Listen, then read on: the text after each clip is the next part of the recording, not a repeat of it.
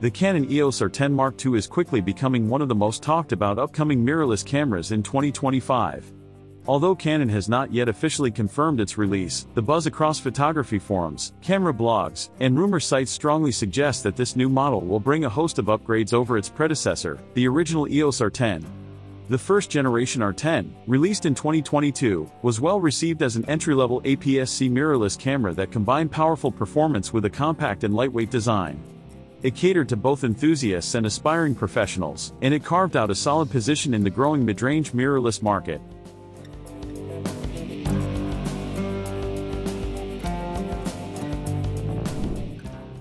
Given the increasing competition from brands like Sony, Nikon, and Fujifilm in the APS-C segment, Canon is widely expected to raise the bar with the EOS R10 Mark II. This new version will likely focus on key areas that matter most to modern photographers and content creators, sensor resolution, autofocus performance, video capabilities, stabilization, and overall usability. The upgrades in these departments could significantly boost the R10 Mark II's appeal, making it not only a worthy successor but also a potential standout in Canon's APS-C lineup. Let's first take a look at where the original Canon EOS R10 stood. The 2022 model featured a 24.2 megapixel APS-C CMOS sensor paired with Canon's powerful Digic X image processor. This hardware combination allowed the camera to achieve impressive high-speed continuous shooting, up to 15 frames per second using the mechanical shutter and up to 23 FPS with the electronic shutter. This made it an excellent choice for capturing fast-moving subjects such as wildlife, sports, and street photography. The original R10 also featured Canon's reliable dual-pixel CMOS AF2 autofocus system, which supported advanced subject detection and tracking for humans, animals, and vehicles. This system delivered consistent and accurate focusing performance, making the R10 a strong performer not only for still photography but also for video work. Additionally, the camera offered oversampled 4K video recording from 6K capture, providing excellent video quality with impressive detail and clarity. However, despite its many strengths, the R10 lacked one critical feature that's become increasingly important in today's mirrorless landscape, in-body image stabilization. For many users, especially those shooting handheld videos or working in low-light environments, this was a noticeable limitation. With the Canon EOS R10 Mark II, Canon is expected to address this major shortcoming. One of the most anticipated features of the upcoming model is the inclusion of 5-axis in-body image stabilization. Adding IBIS would significantly enhance the camera's versatility, especially for handheld video shooters and photographers who often work without a tripod. This feature would bring the R10 Mark II in line with competing models from Sony, Nikon, and Fujifilm, all of which offer IBIS in their APS-C mirrorless cameras. By closing this gap, Canon could make the R10 Mark II a far more appealing option in the competitive mid-range segment. Another area where the Canon EOS R10 Mark II is expected to show improvement is image resolution. Rumors point to a new sensor, potentially around the 30 megapixel mark, which would represent a notable increase over the 24.2 MP sensor found in the original model. A higher resolution sensor would not only provide more detailed images but also offer greater flexibility for cropping, printing, and post-processing. This could be a major benefit for landscape photographers, portrait shooters, and content creators looking for maximum image quality from a compact APS-C body. Low light performance and dynamic range are also expected to improve with the new sensor and updated processor.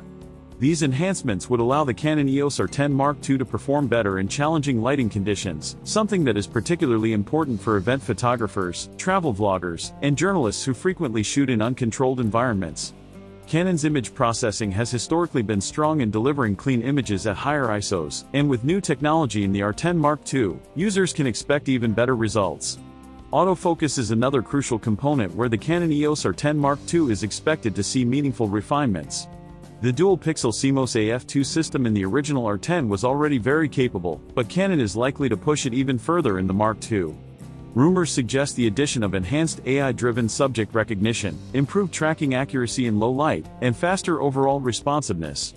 These improvements could make the R10 Mark II an even more reliable tool for high-speed action photography, wildlife, and fast-paced documentary work. On the video front, the original EOS R10 already delivered solid performance, with oversampled 4K at up to 60 frames per second.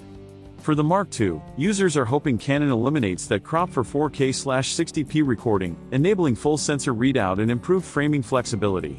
There is also speculation that Canon may introduce 10-bit internal recording with Canon Log 3, giving filmmakers and content creators more room to grade footage in post-production. This would be a significant step up from the original model and would make the EOS R10 Mark II a much more capable hybrid camera.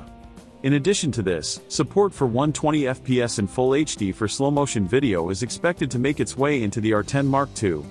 This would further expand its video appeal, offering more creative flexibility for YouTubers, TikTok creators, and independent filmmakers who frequently work with dynamic, slow-motion footage.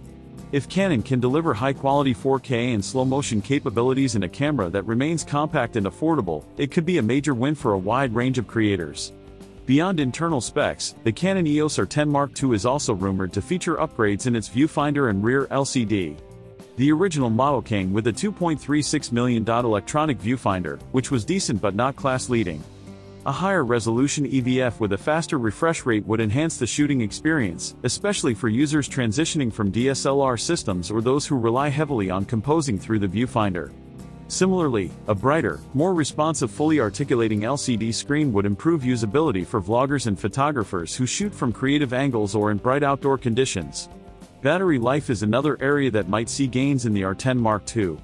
The original camera had reasonably good battery performance, but with potential efficiency improvements from a newer digic processor and better heat management, the Mark II could deliver even longer shooting times on a single charge.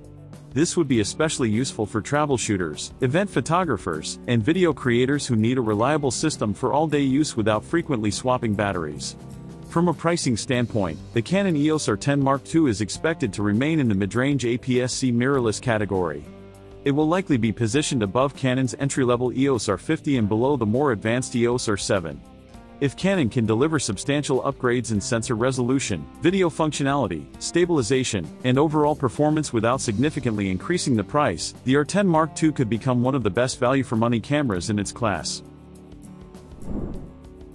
In summary, while the Canon EOS R10 Mark II hasn't been officially announced, all signs point to a meaningful upgrade that addresses the key limitations of the original R10 while building on its strengths.